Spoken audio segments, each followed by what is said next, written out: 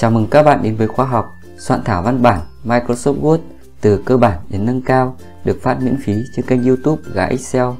Bài số 5 chèn các đối tượng cơ bản. Nội dung của bài học bao gồm 3 phần. Phần thứ nhất là chèn các đối tượng cơ bản. Phần thứ hai là cách để đánh số trang và phần thứ ba là cách để tạo header và footer. Đầu tiên, mình sẽ đi vào phần thứ nhất là cách để chèn đối tượng cơ bản. Đấy, thì nó sẽ nằm ở cái mục insert này. Đó. thì mình sẽ giới thiệu qua các cái chức năng về chèn cơ bản. Nó sẽ nằm ở cái thẻ insert này. Thì đầu tiên ý, là cái phần page.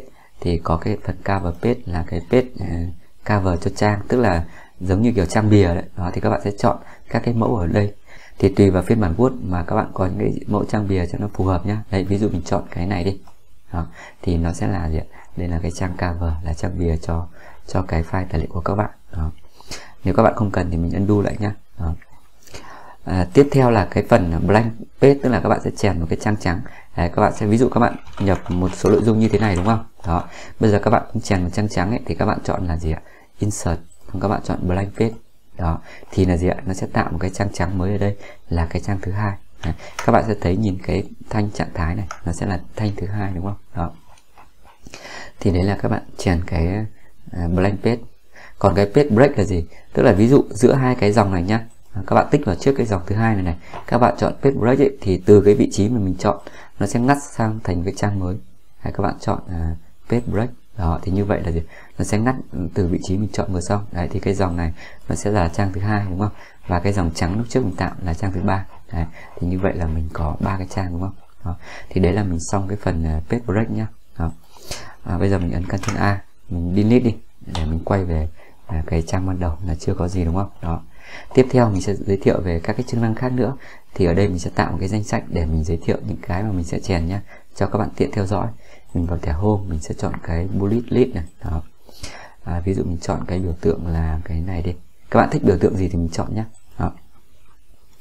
thì tiếp theo là các bạn vào thẻ insert mình sẽ ví dụ mình chèn table này. Đấy, sau đó mình sẽ chèn về cái picture này. Đấy, tiếp theo mình sẽ chèn shape này. Tức là chèn các cái hình dạng hình dạng đúng không? Đấy, các bạn có thể chèn icon này. Đấy, các bạn à, chèn biểu đồ nhé chèn chart này biểu đồ này. Đấy, xong screenshot này. Đấy, các bạn chèn link này. Đấy, các bạn chèn gì ạ? Các bạn chèn cái bookmark này.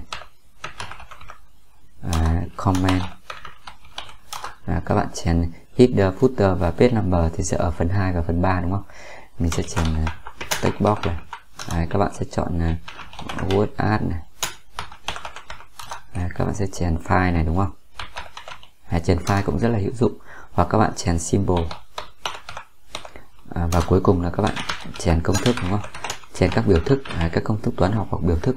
à, thì đấy là các nội dung mà mình sẽ nói tiếp theo. Thì đầu tiên là chèn table nhé. Đấy, các bạn enter, mình sẽ xóa backspace mình xóa đi à, các bạn sẽ vào table này và các bạn sẽ chọn số hàng và số cột của cái table mà các bạn cần chèn đúng không ví dụ mình chèn ba hàng hai cột đúng không thì các bạn tích vào đây mình sẽ boolean ba hàng và hai cột đó thì nó sẽ chèn cho các bạn dữ liệu và ba hàng hai cột thì thông thường các bạn nhập một danh sách ấy, thì các bạn sẽ chèn cột vào đây ví dụ các bạn muốn chèn một uh, trang mới nhé à chèn một cái hàng mới các bạn tích vào cái ô cuối cùng các bạn ấn tab ấy, thì nó sẽ chèn hàng thứ tư và các bạn muốn chèn hàng thứ năm mình tích vào ô cuối cùng các bạn ấn tab. Thì như vậy mình sẽ chèn hàng thứ năm. Hoặc là gì các bạn muốn chèn thêm cột hoặc hàng ấy thì các bạn có thể nhấn chuột phải. Mình sẽ chọn insert đúng không? Đó. Thì trên này là chèn cột à, sang bên trái chèn cột sang bên phải. Hoặc là chèn hàng lên phía trên hoặc hàng phía dưới đó. Các bạn có thể chọn nhé ví dụ mình chọn à, chèn cột sang bên phải đi. Thì lúc này nó sẽ là là ba cột. Cái cột, cột mới chèn là cột bên phải này. Đó. Thì đấy là cách các bạn chèn table nhá. À, tiếp theo là chèn picture. Ờ, thì các bạn sẽ vào insert này các bạn chọn picture đúng không? Thì nó có ba cái cách chèn này các bạn chèn một cái ảnh từ máy tính của các bạn hoặc các bạn từ cái kho của Microsoft Office hoặc các bạn chèn picture online từ trên mạng. Ví dụ mình chèn online trước nhé đó. Các bạn chờ một lát thì nó sẽ mở cái ứng dụng để các bạn chèn. Thì uh, Word nó đang chọn cái ứng dụng Bing để nó sẽ chèn nhé đấy các bạn ví dụ các bạn chọn cái gì? Ví dụ các bạn uh, chèn là cảnh đẹp đúng không? Các bạn gọi tiếng Việt này thì xem nó có ra không? Các bạn enter các bạn chờ một lát đó. Thì nó có rất là nhiều cái phong cảnh các bạn chọn chọn đúng không? Đó. Ví dụ mình chọn Vịnh Hạ Long đi các bạn insert. Đấy, các bạn chờ một lát đó. Thì nó sẽ chọn cái ảnh các bạn chèn nhá. Mình có thể phóng to thu nhỏ cái ảnh này đó. Thì như vậy là mình xong cái phần mình chèn ảnh đúng không? Đó. À, hoặc là các bạn có thể chèn insert các bạn chèn ảnh trên máy tính của các bạn thì các bạn chọn zip diva. Xong các bạn browse đến gì ạ? Đến cái thư mục mà gì ạ? Mà các bạn ờ, có ảnh cần chèn đây ví dụ mình chọn cái này. Đó thì như vậy mình xong chèn xong đây là cái logo của của kênh gái Excel đúng không? Đó thì các bạn có thể chỉnh sửa hoặc các bạn đồng ý thì các bạn tích vào cái chữ V này. Đó thì như vậy là mình đã chèn xong à, picture nhá. Tiếp theo là các bạn chèn xếp là các cái à, các cái hình dạng đúng không? Xếp thì các bạn vào insert này xếp nó có rất là nhiều hình để các bạn chọn Đấy, rất là nhiều hình đẹp. Ví dụ mình chọn hình chữ nhật đi. Đó thì các bạn à, giữ chuột trái mà mình kéo nhé. Đó các bạn có thể chèn vào bất ờ, kỳ cái vị trí nào đúng không? Đó. Hoặc các bạn insert các bạn chọn cái hình khác ví dụ mình chọn hình mũi tên chẳng hạn đúng không? Thì các bạn giữ chuột trái mình kéo thôi. Đó thì mình có thể chèn mũi tên. Và trong cái xếp này thì các bạn có thể chèn text nhé. Ví dụ mình insert text này. Đó. Mình add cái text ví dụ là là excel à, uh, đây là bài học word chẳng hạn đúng không? Đấy bài 5 chẳng hạn đúng không? Đó. Thì các bạn chèn cái hình gì thì các bạn chọn đúng không? Đó. À, tiếp theo là các bạn à, chèn icon nhá. À, chèn icon thì các bạn vẫn vào insert thôi các bạn chọn là icon. Thì icon là các bạn sẽ chọn nó chọn trong cái kho icon của Office Word đúng không? Đó nó có rất là nhiều hình các bạn chọn. Đấy. Các bạn thích cái nào thì bạn chọn đúng không? Đó. ví dụ mình chọn hình cái kính này chẳng hạn đúng không? Và các bạn insert thì các bạn có hình cái kính đấy hoặc các bạn có thể tìm kiếm nhé mình vào insert icon này Đấy, thì tốt nhất là các bạn gõ bằng à, tiếng Anh nhé. Ví dụ mình chọn cái money đi. Đó, thì cái image à, ảnh mà liên quan đến tiền này, money mình tìm này, icon này. Đó, nó có các cái à, các cái loại ở đây. Đấy, custom là people. Thì ở đây ví dụ mình chọn icon là tiền đúng không? Ví dụ mình chọn cái này, insert. Đó, thì như vậy đấy là cách để mình chèn icon. À, tiếp theo là chèn biểu đồ nhé, chèn chart. Đó. Thì các bạn vào uh, insert này, các bạn chọn chart là biểu đồ đúng không? Thì đầu tiên nó sẽ uh, cho các bạn là các bạn chọn các loại biểu đồ gì mà các bạn muốn đó. Thì các bạn thích cái gì thì các bạn chọn đúng không? Đó. Ví dụ mình chọn cái hình pie này đi là miếng bánh đúng không? Các bạn bấm ok. Đó. Các bạn chờ một lát đó. Thì ở đây cái hình pie nó chọn là gì? Nó sẽ có là dữ liệu của bốn quý đúng không? Đây là cái sale là doanh doanh số. Đó các bạn thấy không? Hoặc ví dụ các bạn không thích nhé các bạn à, ví dụ mình sẽ chèn là theo khu vực đi đúng không? Là khu vực à, miền bắc này. À, à, ví dụ là miền Nam này. Ví dụ mình à, bỏ chữ khu vực đi miền Nam này. Đây là gì? Miền Trung này. Đấy, ví dụ mình có ba khu vực thôi. Mình xóa cái dòng thứ tư đi các bạn nhớ chuột phải. Delete các bạn à, table row mình xóa hàng thứ tư đi đúng không? À, ví dụ cái cột này là cái à, GDP Đấy, GDP ở đây mình ví dụ thôi nhá. Miền Bắc thì khoảng 8,2 ví dụ mình đây là à, uh, 3 này. À, miền Nam GDP nó sẽ nhiều hơn. Ví dụ mình để 14 đi. Cái này là 3 chẳng hạn hay là 5 đi. Đó. Đây là ví dụ mẫu thôi nhá. Đó. Thì đấy là nó sẽ vẽ GDP theo theo ba khu vực miền Bắc miền Nam và miền Trung. Đấy, mình sẽ đóng cái Excel này lại. Đó. Thì như vậy đây nó sẽ là cái biểu đồ à, GDP đó. các bạn có thể đổi tên biểu đồ nhé ví dụ mình đặt đây là tiêu đề là gì? GDP theo khu vực chẳng hạn đúng không? Đó. Họ thì đấy là tên biểu đồ hoặc các bạn có thể uh, nhấn chuột phải format chart area. Mình sẽ tạo border cho nó đẹp đúng không? Đó. Thì cái phần mà các bạn muốn tìm hiểu nhiều về biểu đồ thì các bạn có thể xem trên các video trên kênh nhé. Đó.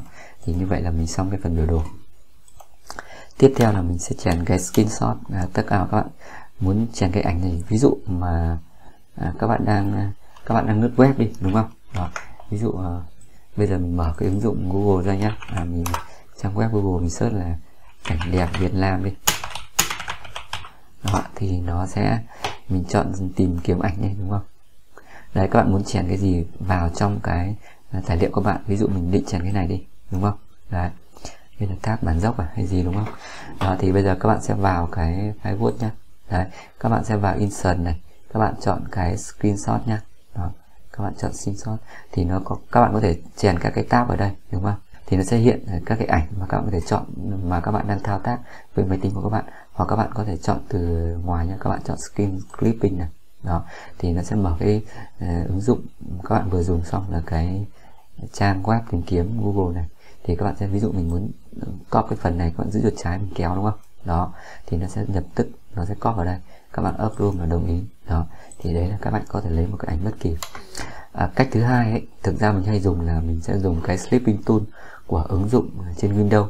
À, các bạn muốn copy cái ảnh vừa xong đúng không? À, thì các bạn sẽ mở cái cái ảnh vừa xong lên đúng không? Đó.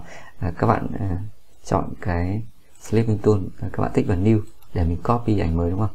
Đấy, các bạn có thể copy ảnh này hoặc các bạn lấy bất kỳ cái vùng nào trên cái à, trên cái màn hình của các bạn thôi. Ví dụ mình lấy cái vùng này. Ngoài ra các bạn có thể uh, ghi chú vào đây hoặc các bạn vẽ các mũi tên uh, chú thích vào đây đúng không? Đó.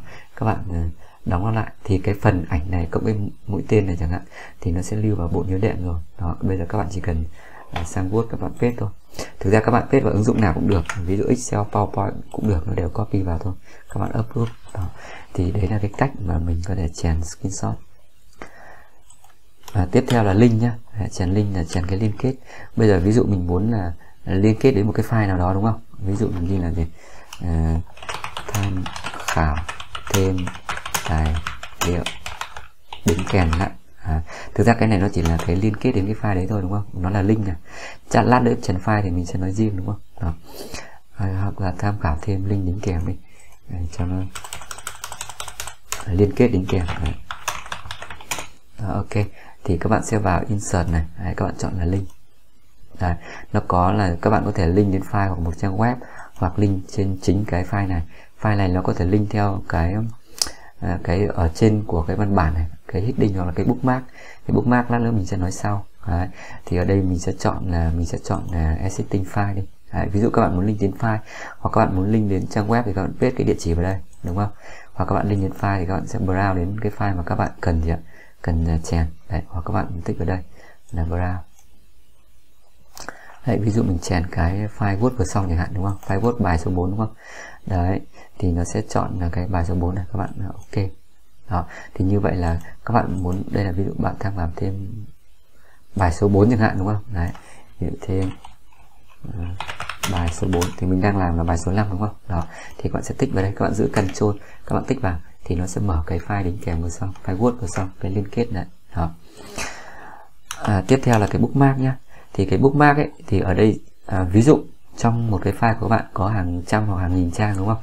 Nó có rất là nhiều nội dung nhiều cái phần khác nhau. Đó. Thì các bạn muốn nhảy đến cái phần nào hoặc là đến cái chương nào đấy thì các bạn có thể bookmark cái nó bây giờ ví dụ các bạn xuống cuối này các bạn ấn Ctrl Enter để mình tạo một cái trang mới ở đây. Mình xóa cái bullet list này đi. Ví dụ mình sẽ ghi cái chương này là ở cái mục mình sẽ nói về Hà Nội đúng không? Đó. Đấy, thì các bạn à, các cái nội dung ví dụ diện tích này à, hoặc là dân số này đúng không? Rồi là các cái danh lam thắng cảnh chẳng hạn đúng không? Đó. Thì các bạn sẽ uh, có các thông tin về Hà Nội chẳng hạn. Đấy là ví dụ thế đúng không? Đó. Uh, thì các bạn ờ, điền vào đây. Nhưng mà quan trọng là mình sẽ bookmark ở đây. Đó. bây giờ xuống cuối. Các bạn tích vào cái Hà Nội này nhá. Các bạn vào insert các bạn bookmark nó. Đó. Và mình sẽ đặt tên là Hà Nội. Các bạn đặt tên viết liền nhá. Mình sẽ add cái bookmark này vào. Đó thì như vậy mình có một cái bookmark về Hà Nội rồi. Các bạn xuống cuối các bạn can trên enter này. Ví dụ các bạn lại có một cái phần về cái thành phố Hồ Chí Minh chẳng hạn đúng không? Đó. tương tự các bạn có các thông tin về Hồ Chí Minh nhá. Để mình ví dụ thôi. Đó. Thì bây giờ các bạn bookmark cái phần Hồ Chí Minh này lại. Insert này. Bookmark. Đấy, ví dụ mình đặt là Hồ Chí Minh. Đấy, các bạn add vào đây. Đó. Rồi thì như vậy mình có hai cái bookmark rồi đúng không? Các bạn ấn Ctrl Home để mình lên trên cùng. Bây giờ ví dụ mình muốn nhảy đến cái phần Hồ Chí Minh hoặc Hà Nội ấy, nó ở tích cái trang nào đó chẳng hạn đúng không? Thì các bạn vào bookmark này. Đấy thì nó sẽ hiện cái hai cái danh sách bookmark ở sau. Ví dụ mình nhảy vào Hà Nội nhá thì mình tích Hà Nội này các bạn go to. Đó các bạn close. Đó thì nhập tức nó sẽ nhảy cái phần Hà Nội đúng không? Bây giờ muốn nhảy đến Hồ Chí Minh đâu? Bookmark các bạn tích vào Hồ Chí Minh các bạn go to. Đấy, các bạn close. Đó thì nó sẽ nhảy đến Hồ Chí Minh. Đó các bạn thấy không? Rất là hay. Các bạn Ctrl Home đó. Ok thì như vậy là mình đã xong cái phần uh, bookmark đúng không? Cái comment comment thì thông thường ví dụ các bạn muốn chú thích một cái gì đó. Ví dụ nhất là ví dụ trong cái chuyện Kiều của Nguyễn Du đúng không? Thì nó rất là có nhiều điển tích hoặc là các cái nội dung mà liên quan đến cái nguyên mẫu nguyên tác của cái tác giả. Đó, thì các bạn có thể chú thích đúng không? Ví dụ có câu là đó ví dụ có đoạn là gì? À, ngày xuân còn én đưa thoi kiều quan chín chục đã ngoài 60 đó, thì ví dụ cái câu thiều quang này nó giống như kiểu ánh sáng đẹp. Thực cái này mình ví dụ nha mình không chắc các bạn thì nó như kiểu tượng trưng cho mùa xuân đúng không? Thì mùa xuân nó sẽ có 90 ngày. Đó, thì 60 ngày đã qua rồi, đúng không? Đó, thì ví dụ cái chữ thiều quang này, mình bôi đen này, mình muốn chú thích đúng không? Các bạn có thể nhấn chuột phải mình chọn comment hoặc các bạn vào insert các bạn tích comment ở đây. Đó, thì ví dụ mình ghi là gì? Thiếu quang thiếu quang ví dụ là là ánh sáng đẹp.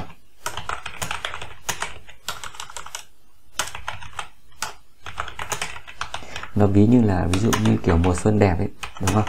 Mùa xuân đẹp thì có 90 ngày, đúng không? Đó có 90 ngày và 60 ngày đã qua rồi như vậy là các bạn đã sắp hết mùa xuân rồi đúng không? Đó. Thì ý là các bạn có thể ghi chú những cái điển tích hoặc những cái nội dung gì à, các bạn cần à, nói cho người ta hiểu đúng không? Đó. Ok. Tiếp theo là mình chèn tích box nhé Đấy, các bạn vào insert này. Các bạn chọn tích box đây. Đó. Thì nó có rất là nhiều kiểu tích box mà các bạn muốn chèn đúng không? Ví dụ mình chọn cái này chẳng hạn. Đó. Thì mình sẽ ghi là giá excel. Đó. Các bạn không thích cái này các bạn xóa đi. Hoặc các bạn chèn các sọt các nguồn vào đây đúng không? Đó thì đấy là cái phần ờ, đấy, các bạn ờ, đóng lại rồi thì như vậy là mình đã chèn xong cái phần text box nhé đó các bạn có thể di chuyển cái text box này bất kỳ vị trí nào bạn muốn. Cái này nó giống như kiểu danh thiếp ấy nhỉ đúng không? Đó thì nó giống như là danh thiếp ấy. rồi ok. Cái mẫu text box ấy. À, tiếp theo là cái word art thì word art mình vào insert này. À, mình sẽ chọn là cái word art ở đây là chữ nghệ thuật đúng không? Đó thì các bạn có thể chèn bất kỳ cái nào bạn muốn ví dụ mình chọn cái này là 3D này ví dụ nó gọi là gái xem. Đó thì các bạn chèn một cái bút áp là cái chữ nghệ thuật rồi. Đó. thì các bạn có thể xoay đúng không? Cái chữ này các bạn xoay nghiêng xoay dọc à, xoay thoải mái. Hoặc các bạn đổi màu đúng không? Format này. Đó thì các bạn sẽ chọn uh, màu của cái gì? Cái set box này. Đấy các bạn sẽ uh, uh, bôi đen các bạn có thể chọn màu cái chữ A này. Các bạn ví dụ mình cho màu cam đi đúng không? Đó thì nó sẽ là màu cam. Rồi tiếp theo là chèn file nhé đó. Chèn file thì các bạn vào insert này. Các bạn tìm cho mình là cái object. Đó. Thì cái object là đối tượng. À, cho nên mình sẽ chọn vào object để chèn file. Sau đó mình sẽ vào cái thẻ creative from file này. Và các bạn browse đến cái file mà các bạn muốn chèn, đúng không? Đó. Các bạn thích chèn cái file nào thì các bạn chèn thôi. Ví dụ mình chèn cái file PowerPoint này đúng không? Nó có hai cách chèn là các bạn chèn liên kết tức là nó chỉ là cái file liên kết thôi. Nghĩa là nó chỉ mở được trên máy tính của các bạn thôi. Còn các bạn gửi file Word cho người khác ấy, người ta sẽ không mở được nếu như các bạn chọn link to file. Đó. Bây giờ mình sẽ bỏ chọn. Còn display as icon là gì? Là mình đính kèm cái file này thực sự vào file Word. Nghĩa là các bạn gửi file Word cho người khác thì người ta cũng đều mở được cái file đính kèm này đúng không? Hoặc các bạn trình chiếu bạn muốn mở cái file này các bạn copy vào USB thì nó cũng mở được cái file đính kèm này. Các bạn có thể trên icon để mình đổi tên nhé Đấy, ví dụ mình ghi là giới thiệu công ty chẳng hạn đúng không? Đấy, thông thường những cái file giới thiệu về sản phẩm với công ty nó sẽ là file PDF các bạn bấm OK. Đó các bạn bấm OK. Các bạn chờ một lát nhé thì nó sẽ đính kèm cái file này vào. Thì thời gian nó phụ thuộc vào cái dung lượng file. Ví dụ các bạn mà chèn cái file mà nó lớn hàng gig chẳng hạn thì nó rất là lâu. Dạ, ok tiếp theo là mình sẽ chèn biểu tượng là symbol. Thì các bạn cũng vào insert mình tích vào cái symbol này thôi. Thì symbol những cái symbol là symbol gần đây nhá nó sẽ có ở đây. Đó. các bạn nếu mà chọn những cái symbol gần đây thì các bạn tích chọn vào thôi. Đấy các bạn thấy chưa? Đô la đồng tiền này. Ví dụ các bạn thích chọn cái hình cái đĩa này. Đó. Các bạn chèn những cái ở đây thì ok đúng không? Đó, máy bay này. Đó. Hoặc các bạn chèn more more symbol thì nó sẽ hiện cái danh sách mới ở đây. Rất là nhiều cái symbol để các bạn chọn. Đấy, các bạn kéo xuống nó có rất là nhiều nhá. Đó. Ví dụ mình chèn cái à, nào thì các bạn chọn đúng không? Ví dụ mình chọn cái biểu tượng ờ, Windows này insert này. Đó. Thì các bạn sẽ thấy cái biểu tượng mới chèn vào đây đúng không? Ngoài ra ấy, các biểu tượng mà gần nhất các bạn chọn thì nó sẽ lưu vào cái phần này. Để lần sau các bạn chọn lại thì các bạn đỡ phải tìm một nó ở đâu đúng không? Đó. Ví dụ mình chèn cái mũi tên này chẳng hạn. Insert. Đó. Thì các bạn thấy không? Rất là hay. Tiếp theo là mình chèn công thức nhá chèn công thức thì nó làm trong insert cái equation này. Đó, thì nó có rất là nhiều công thức để các bạn chèn, đúng không? Đó, các bạn lăn xuống này. Đó, các bạn có thể chọn là cái new à, equation và các bạn tích luôn vào đây, đúng không? Đó, thì nó sẽ ra cái new equation này. Các bạn có thể chèn các cái biểu thức khác nhau, đây là phân số này, đấy. đây là e mũ này, đó, hoặc là căn mũ bao nhiêu này. Đó, các bạn thấy không? Rất là hay. Ví dụ mình chọn cái căn này đi. Đó, thì ví dụ ờ, trên này là căn bậc mấy, căn bậc 3 của bao nhiêu? Đây là x phải mở ngoặc uh, à, x cộng y chẳng hạn đóng ngoặc đó thì như vậy là mình có cái biểu thức căn bậc 3 của x cộng y đúng không? Đó. Ngoài ra có một cách khác ấy, là các bạn sẽ chọn cái link equation này. Tức là thay vì các bạn chọn thì các bạn vẽ các bạn viết ra đây thì uh, Word nó rất là thông minh nó sẽ tự đoán ra là mình muốn làm cái công thức gì đúng không? Ví dụ mình cũng là căn bậc 3 của x cộng y thì mình làm như thế nào đúng không? Đó à, nếu mà các bạn có bút ấy mà viết trên máy tính bảng thì rất là tiện. Đây ví dụ mình dùng chuột nhá. Cả căn bậc 3 đúng không? Của mở ngoặc. À, x cộng y.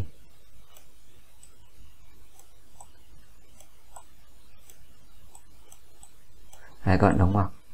Đó thì cái đó các bạn thấy không? Nó tự dịch rất là hay. Nếu bạn thấy sai thì các bạn tẩy đi và các bạn sửa lại thôi đúng không? Các bạn insert. Cái công thức là căn bậc 3 của x mũ y đúng không? Đó à, như vậy là mình đã hướng dẫn xong cho các bạn là cách để các bạn chèn những cái thành phần chính nhá. Đó bây giờ mình sẽ xóa hết đi. Ctrl A mình nhấn delete đi. Thì coi như mình quay về cái trang trắng ban đầu là chưa có nội dung gì. Sang phần tiếp theo mình sẽ hướng dẫn các bạn là cách để chèn trang đúng không? À, thì để chèn à, đánh số trang ấy thì mình làm như thế nào? Bây giờ mình sẽ tạo cho các bạn một cái đoạn văn bản mới nhé các bạn sẽ dùng cái hàm random. Thì trong Word ấy thì nó sẽ có cái hàm random viết tắt là r a n d này. Đó, ví dụ à, 100 là tức là mình sẽ tạo 100 cái đoạn 100 cái paragraph hoặc mình để 200 đi cho nó nhiều. Phải. Tiếp theo là mỗi đoạn mình để mấy câu ví dụ mỗi đoạn mình để à, câu đi đúng không? Đó. Bốn câu các bạn đóng đơn lại hay các bạn enter. Thì như vậy nó sẽ tạo cho các bạn một à, hai 200 cái đoạn và mỗi đoạn là bốn câu. Các bạn thấy không? Đấy, thì nó sẽ là có 22 trang tất cả. Đấy. các bạn có thể ấn căn Ctrl A. Nếu mà cái nội dung ấy, thì mình nên là căn đều hai bên này. Đó, nhìn nó sẽ đẹp hơn. Đó các bạn thấy không? Nhìn nó sẽ đẹp hơn các bạn ấn Ctrl Home để mình lên trang 1 nhé đó. Thì như vậy là mình sẽ có à, nó sẽ còn 21 trang. Mình căn giữa thì nó còn 21 trang. Bây giờ mình muốn đánh số trang thì mình làm như thế nào đúng không? Thì cái phần đánh số trang ấy mình sẽ có hai cái nội dung nhỏ nhé thì cái nội dung nhỏ thứ nhất ấy là mình sẽ đánh số trang cho toàn bộ cái văn bản. Và cái nội dung thứ hai ấy, là mình sẽ tạo đánh số trang mình ngắt trang. Tức là mình sẽ có nhiều cái phần để đánh số trang. Ví dụ mình không đánh trang một từ cái trang đầu tiên. Ví dụ cái đầu tiên là cái lời giới thiệu hay là mục lục gì đó thì mình sẽ không đánh số trang mà mình chỉ đánh từ nội dung thôi chẳng hạn đúng không? Thì nó gọi là đánh số trang và ngắt trang. À, thì bây giờ mình sẽ đánh số trang cho toàn bộ văn bản nhá. Đó thì các bạn vào insert này. Đấy, các bạn sẽ vào cái phần page number ở đây. Đó thì đánh số trang các bạn có thể đánh ở trên này top ở page đó đúng không? Thì nó sẽ đánh số trang ở cái phần trên của cái văn bản đúng không? Còn cái à, nếu như mà gì ạ? Nếu như các bạn chọn là bottom thì nó sẽ đáy ở văn bản đúng không? Đây bottom ở dưới này. Thì nếu như mà các bạn chọn bottom ấy, thì nó sẽ đánh số trang ở cái phần dưới của văn bản đúng không? Top là phần trên đó. Thì các bạn chọn là top hoặc bottom đều như nhau thôi nhé đó. Thì bây giờ mình đánh số trang ở trên đi cho các bạn nhìn thấy luôn đúng không? Đấy, các bạn vào page number. Ừ, thì đầu tiên các bạn muốn là định dạng cái kiểu đánh là gì thì các bạn có thể vào format page number để các bạn chỉnh nhá. Thì thông thường đánh số trang người ta sẽ đánh là số bắt đầu từ một đúng không? Đấy, các bạn cứ để mặc định như thế này. Đấy, bây giờ sau khi mà các bạn chọn xong format nhé thì các bạn vào page number. Các bạn có thể mình chọn ở đây là đánh số trang bên trái đúng không? Đây này đánh ở giữa đây đánh bên phải. Ngoài ra các bạn lăn xuống dưới này nó có rất là nhiều kiểu đánh đúng không? Ví dụ nó thêm chữ page này. Đấy hoặc là page x ở y nghĩa là page 1 của 21 này trang 2 của 21 trang 3 của 21 đúng không? Nó có cả tổng số trang nữa. Y ở đây là tổng số trang đúng không? Đó. Ví dụ mình chọn là uh, page 1 ở bên nhá. Đấy. các bạn thấy không? Thì nó sẽ ra số trang. Còn ở 21 là tổng tất cả có 21 trang. Đó. Các bạn là tích ra cái phần nội dung tích đúp thì như vậy là mình đã xong cái phần đánh số trang đúng không? Trang 2 này. Đây là trang 3 đó. Các bạn muốn thay chữ page thành trang đúng không? Mình sẽ tích đúp vào đây để mình sửa thôi. Thì các bạn à, tích đúp chữ page này mình sẽ sửa thành chữ trang đúng không? Ví dụ ở bây giờ mình không thích thì mình sẽ là cái xưởng này. Việt Nam mình hay để xưởng nghĩa là trang 1 trên 21 đấy các bạn tích ra ngoài. Thì như vậy là mình có thể đánh số trang như thế. Đó các bạn thấy không? Rất là hay. Đó. Thì đấy là cách mình đánh số trang nhé.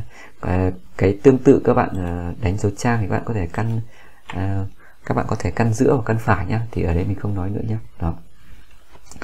À, nếu mà các bạn chọn đánh số trang là căn phải thì lúc này nó sẽ mất cái phần căn trái thôi đúng không? Đó. Thì nó sẽ là đánh số trang ở bên phải này đúng không? Đó. Đây là đánh dấu trang thông thường nhé ví dụ các bạn ờ, thêm chữ trang này insert này page number mình sẽ chọn là đây các bạn có rất là nhiều đúng không? Page up này. Đây ví dụ mình có thêm chữ trang này đi. Đấy, các bạn tích vào đây. Đó. Thì như vậy là đây là cách đánh dấu trang. Ví dụ cái page này mình sẽ thay sửa thành chữ trang. Đúng không? Đấy, các bạn tích đúp vào đây. Đó thì như vậy là trang 1 dưới này là trang 2 đó các bạn thấy không? rất là đẹp thì như vậy là mình hướng dẫn xong cho các bạn cách để các bạn đánh số trang nhé. Bây giờ mình muốn xóa số trang thì mình làm như thế nào? Đó thì các bạn lại vào insert à, cái phần ở cái phần page number các bạn tích vào đây các bạn chọn remove page number đi. Đó thì nó sẽ mất cái phần đánh số trang đúng không? Rồi sang cái nội dung nhỏ thứ hai của phần đánh số trang ấy, là mình sẽ đánh theo ngắt trang tức là mình không phải trang đầu tiên là trang số 1 đúng không? À, thì ví dụ cái mục đầu tiên mình sẽ ghi là nội dung của này ví dụ mình ghi là mục lục đi đúng không? Đấy. thì thông thường mình sẽ không đánh số trang bắt đầu từ trang mục lục đúng không? Bây giờ mình sẽ bôi đen mình ờ, à, tô màu đi cho các bạn dễ nhìn. Đấy, phóng to một chút bôi đen cho cỡ chữ to một chút. Rồi ok. Thì như vậy ví dụ cho chữ màu cam rồi thì như vậy mình xong cái phần mục lục đúng không? Ví dụ mục lục mình có hai trang nhá các bạn tưởng tượng đây là mục lục nhá. Đấy, đây là mình cho cái trang mẫu thôi. Thì từ cái trang thứ ba này các bạn nhìn này page 3 ở 21 này. Thì từ cái trang thứ ba mình sẽ ghi là nội dung. Đấy. tức là nội dung mà các bạn cần cần đánh số trang nhá. Nội dung là nội dung của cái tài liệu của các bạn đấy, đấy. thì đây mình ví dụ mẫu thì mình không đánh nội dung trực tiếp nhá. À, mình à, bôi đen tô đậm à, phóng to lên một chút để cho chữ màu cam. Rồi thì cái phần nội dung thì các bạn sẽ là nội dung các bạn thôi. Có bao nhiêu chương bao nhiêu phần rồi những phần nhỏ như thế nào thì các bạn đánh vào đúng không? Còn ví dụ cái hai cái trang cuối đi hoặc là ba cái trang cuối đi thì lúc này là có hai hai trang tất cả đúng không? Trang thứ hai này. À, đây là trang thứ ba. Thì như vậy cái trang thứ ba này á, là cái phần trang thứ ba này là cái phần uh, phần tham khảo đúng không? Các bạn uh, enter. Ví dụ đây là cái phần tham khảo đấy các bạn bôi đen. Ví dụ mình tô đậm này à, cho chữ màu cam này à, bôi vàng này đó mình lại bôi đen phóng to cỡ chữ lên một chút đó. Thì như vậy ở đây mình sẽ có 3 phần là phần à, mục lục này phần nội dung và phần tham khảo đúng không? Thì bây giờ mỗi phần mình sẽ đánh số thứ tự riêng đúng không? Ví dụ cái phần nội dung là mình sẽ đánh theo số thứ tự 1 2 3 đúng không? Bắt đầu từ một. Còn cái phần mục lục ấy, mình sẽ đánh nội dung theo cái phần y nhỏ. À, còn cái phần tham khảo thì mình sẽ đánh theo là ABC chẳng hạn đúng không? Thì mình làm như thế nào? Thì cái nguyên tắc để đánh cái phần uh, số trang như thế này á thì ờ, đầu tiên các bạn phải ngắt ra mỗi một phần mình sẽ để nó ở một section.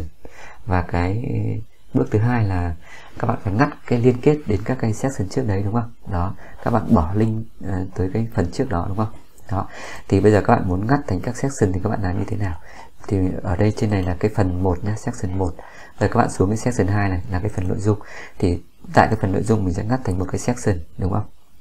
Thì các bạn sẽ vào cho mình là layout này. Đó.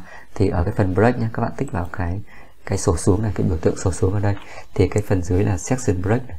thì cái phần lệch page hoặc là continuous ấy, thì các bạn ở cái bước này các bạn chọn thì nó sẽ giống nhau thôi. Bởi vì lệch page ở đây nghĩa là gì? Nó sẽ ở cái trang mới á, là ở cái section mới còn continuous ấy, thì một trang nó có thể ngắt từ một cái vị trí bất kỳ trong cái trang đấy thành một cái section riêng. Thì đây mình cả cái trang này mình sẽ tạo thành một section riêng cho nên mình sẽ chọn next page cũng được hoặc continuous cũng được nhé đấy next page ở đây. Đó thì như vậy cái phần này nó sẽ là một cái section lát nữa mình chỉ cho các bạn là cách để xem cái đấy có phải là section mới không. Bây giờ các bạn ấn Ctrl N để mình sẽ xuống cuối tài liệu nhá. Bây giờ hai ba cái trang cuối là cái phần ờ, tham khảo đúng không? Thì tại đây là trước cái chữ tham khảo này này mình sẽ ngắt một cái section nữa đúng không? Các bạn vào break này. Đấy các bạn sẽ chọn là break page. Đó thì như vậy là mình đã có ba cái section rồi đúng không? Bây giờ muốn xem section thì các bạn làm như thế nào? Các bạn uh, xuống cái thanh status bar này. Đấy, cái thanh hôm trước mình học về cái thanh trạng thái đúng không? Các bạn nháy chuột phải. Các bạn sẽ nhìn thấy cái phần section ở đây. Đó thì ở đây á mình đang tích vào cái phần section này rồi. Các bạn thấy cái biểu tượng tích này này. Thì nghĩa là nghĩa là ở đây nó đã có Ờ, uh, tích chọn section nó sẽ hiển thị cái section ở cái status bar nhé đó. Còn nếu như các bạn ờ, chưa có ví dụ ở đây mình nhớ chuột phải này à, chuột phải vào cái status mình bỏ section đi. Của các bạn là như thế này đúng không? Bây giờ mình sẽ tích vào cái section này thì khi nó có tích chữ V này thì là ok. Đó. Thì bây giờ mình chọn một cái vùng bất kỳ của cái section thứ ba các bạn thấy chưa? Thì nó sẽ hiện cái section ở đây các bạn thấy không? Thì cái phần này nó là section thứ ba này số 3 này. Các bạn thấy không? Đó rất là hay. Còn các bạn lên cái phần nội dung là section thứ hai đúng không? Các bạn có thể bôi đen bất kỳ cái vùng này thì các bạn sẽ thấy nó là ở cái cái section 2 đúng không? Đó rất là hay. Các bạn ấn Ctrl Home để mình lên đầu nhé đó thì cái phần này các bạn thấy không? Thì nó sẽ nằm ở ở section 1 đó thì như vậy bước đầu tiên à, là mình đã tạo xong à, thành ba section rồi đúng không? Bây giờ mình muốn ngắt liên kết thì mình làm như thế nào đúng không? Thì các bạn lưu ý mình sẽ tích đúp vào trên cái header này. Cái vùng này cái vùng này á, thì nó gọi là header thì nát nữa mình sẽ nói về cái phần ba là header và footer. Còn cái dưới của trang ấy thì nó gọi là footer, đúng không? Trên của trang thì nó gọi là header đó. Thì các bạn tích đúp vào header hoặc là tích đúp vào footer cũng được. Mục đích là mình sẽ ờ, để nó hiện cái thẻ header và footer ra, đúng không? Các bạn tích đúp vào header này. Đó, các bạn thấy chưa? Thì nó có header và footer ở đây, đúng không? Đó. Thì các bạn sẽ bỏ là link to previous đi. Đấy, thì nó sẽ không còn liên kết nữa, đúng không? Thì như vậy là gì? Cái section thứ hai này mình đã bỏ liên kết đến đến cái section thứ nhất, đúng không? Đó. Còn cái section một này thì ừ, nó sẽ không có liên kết đến cái phần trên đâu, không có link to previous. Bây giờ các bạn xuống, các bạn tích ờ, đúp ra ngoài nhá. Thì như vậy mình đã ngắt liên kết của section 2 với section 1 rồi, đúng không? Các bạn ấn Ctrl N để mình ờ, xuống cái trang cuối cùng. Bây giờ các bạn vào cái section 3 đây, section 3 các bạn tích vào đây. Bây giờ các bạn tích đúp vào cái header này. Đấy. các bạn cũng bỏ chọn link to previous. Các bạn lưu ý nhé nó đang biểu tượng mờ mờ như thế này là nó link to previous rồi. Nếu các bạn không ngắt ấy, thì nó vẫn đánh số trang là liên tiếp đúng không? Các bạn phải ngắt liên kết đi. Bỏ chọn đó thì như vậy nó không còn liên kết. Thì như vậy cái header nó sẽ không còn liên kết đúng không? Bây giờ các bạn tích vào cái footer này này. Đó thì cái footer này nó sẽ liên kết đến cái cái footer trước là footer một đúng không? Các bạn cũng tích vào đây thì nó sẽ bỏ liên kết đi đúng không? Như vậy cái section 2 nó sẽ không liên kết đến footer của section 1 và các bạn tích vào cái à, cái footer của cái section 3 nó cũng bỏ liên kết với section 2 đi nhá. Đó.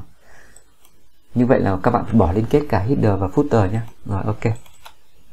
Thì để các bạn đánh số trang theo header hoặc footer thì đều nó không bị ảnh hưởng đúng không? Thì như vậy là mình đã làm cái gì rồi?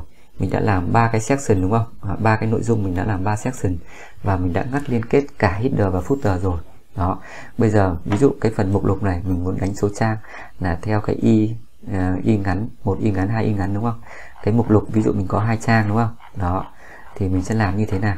Thì các bạn tích vào một ô bất kỳ của cái phần mục lục này hoặc các bạn bôi đen một vùng cũng được đúng không? Thì mình sẽ vào insert. Thì đầu tiên các bạn phải format trước. Mình sẽ tích vào viết number mình format. Thì ở đây mình sẽ đánh theo là cái một y hai y ba y này. Đánh theo la mã đúng không? Các bạn bấm ok. Đó thì bây giờ các bạn vào cái phần page number các bạn chọn top page. Ví dụ mình chọn trên này nhá.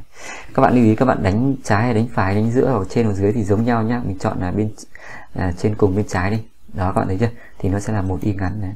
Các bạn tích đúp ra ngoài. Đó, các bạn thấy chưa? Một y nhỏ này. Dưới này là gì? Hai y nhỏ. Và cái phần thứ hai là không được đánh đúng không? Nó không đánh phần thứ hai. Đó các bạn thấy chưa?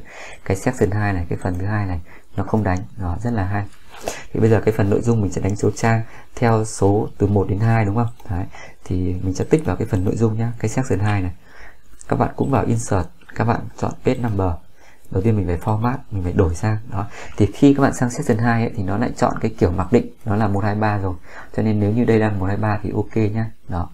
Thì các bạn nếu mà để chắc ăn ấy, thì các bạn cứ để start là một đi đúng không? Đấy thì nó bắt đầu là một. Rồi ok các bạn sẽ vào insert này. Các bạn chọn page number ví dụ mình đánh số trang ở bên phải đi. Đó, các bạn bấm vào đây đó thì các bạn thấy chưa? Các bạn tích đút ra ngoài. Thì như vậy ở cái section 2 này, bắt đầu nó sẽ là một, đúng không? Đấy, các bạn thấy không? xuống dưới là hai. Đấy, xuống dưới là ba. Và các bạn, cái này nó không ảnh hưởng đến cái phần mục lục, đúng không? Mục lục vẫn là một y và hai y ngắn. Đó các bạn thấy không? rất là hay. Mình ấn Ctrl em để mình xuống cuối nhá. Đó. Thì ở cái phần section 3 này nó không bị ảnh hưởng gì, đúng không? Nó không có đánh số trang, đúng không? Đó, các bạn thấy không? rất là hay. Và cuối cái section 2 này này, nó là trang 17 đó, rất là hay. Ok, cái tham khảo này cũng vậy nhá. À cái cái section này nếu các bạn đánh kiểu là ợp nhá thì nó chỉ có 17 trang thôi đúng không? Cái section 2 cái phần nội dung nó chỉ có 17 trang thôi. Nếu các bạn để là ọp bao nhiêu trang mấy trên mấy thì nó chỉ là 17 nhá. Đó. Rồi ok cái tham khảo bây giờ mình đánh cái phần à, đánh uh, trang đánh số trang. Phần tham khảo là ABC chẳng hạn đúng không? Các bạn bôi đen cái phần này hoặc tích một ô bất kỳ của cái vùng uh, section 3 này. Insert. Các bạn phải format nó đúng không? Mình format page number đó bây giờ mình đánh theo hoặc các bạn đánh theo cái sược 12 này này. Ở đây mình sẽ đánh theo ABC đi. Ừ, chữ cái cũng được viết họa được viết thường cũng được. Ví dụ viết thường đi đúng không? Ví dụ mình bắt đầu từ A đi. À, đây nó mặc định từ A rồi. Các bạn bấm OK. Đó bây giờ các bạn chọn page number. Cái này các bạn đánh ở giữa đi đúng không? Đấy các bạn thấy chưa? Tích đút ra ngoài. Đó thì như vậy là cái phần tham khảo là mình đánh số thứ tự theo ABC đấy các bạn thấy không? Rất là hay. Còn cái phần nội dung thì đánh số thứ tự theo theo số đúng không? Đấy các bạn thấy theo số. Còn cái phần Ctrl Home đánh lên trên à, phần mục lục là đánh theo y ngắn. Đấy các bạn thấy không? Rất là hay. Bây giờ mình sẽ sang cái nội dung thứ ba là các bạn à, tạo header và footer. Đó. Thì các bạn có thể tạo một cái file mới đi. Các bạn tách à, biệt nhau hết ra đi cho nó dễ. Thì các bạn sẽ ấn Ctrl cộng N để mình sẽ tạo một cái file mới đúng không? Đấy các bạn thấy chưa? Thì lúc này là cái document 2 thì các bạn cũng phải nhớ là các bạn lưu vào nhá. Ví dụ mình ấn Ctrl S này để mình đặt tên file trước đã.